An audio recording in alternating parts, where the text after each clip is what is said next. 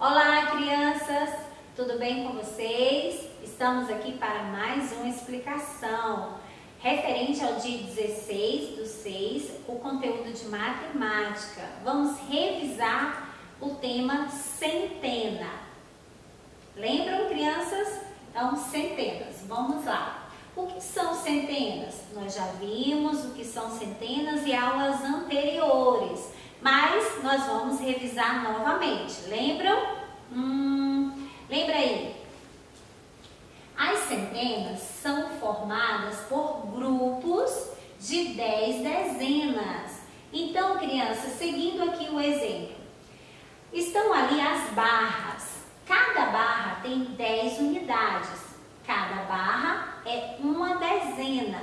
Para formar 100, eu tenho que ter 10 barras. Lembrando que esses cubos, os cubos é que formam as barras. Então, 10 cubos formam uma barra. Uma barra, 10 unidades, que é uma dezena.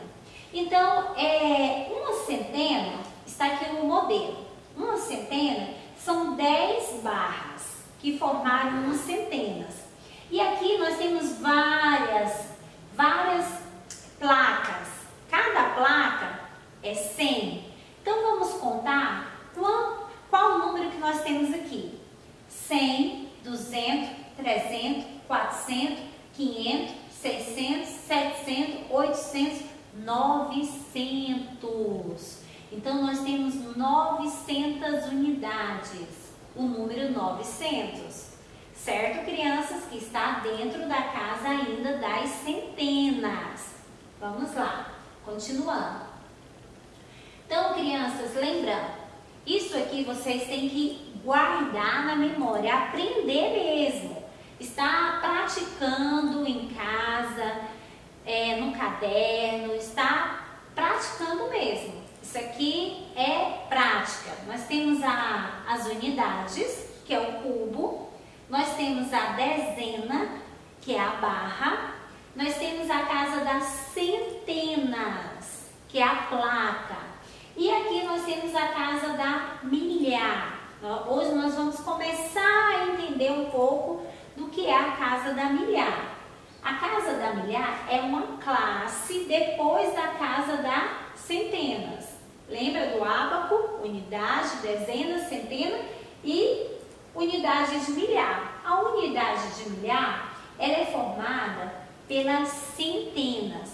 Quando eu tenho, quando eu tenho 10 centenas, eu formo unidade de milhar, que é mil. Certo, crianças? Continuando.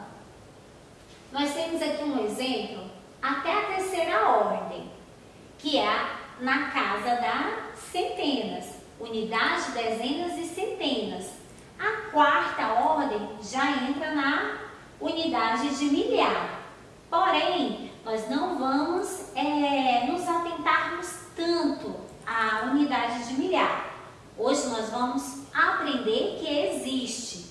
Porém, nós vamos revisar bastante as unidades, dezenas e centenas. Então, nós temos aqui, crianças, nós temos é, o número 12, que está na casa da unidade dezena.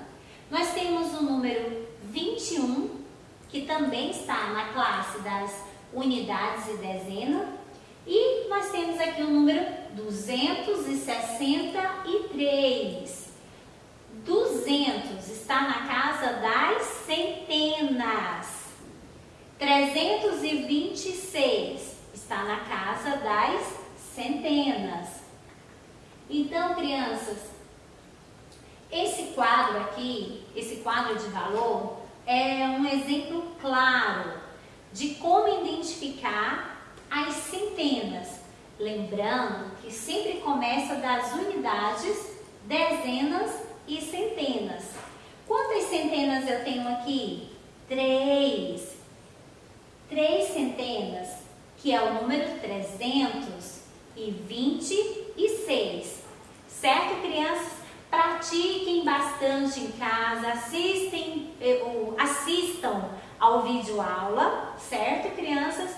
Depois realizem atividade na página 99 do livro didático. E lembrando novamente, se ficou alguma dúvida, envie a dúvida para o administrador do grupo WhatsApp, que os dias 29 e 30 será feito um plantão de dúvida, esclarecendo as dificuldades que é, vocês possam ter, tá bom? Essa foi a nossa aula de hoje.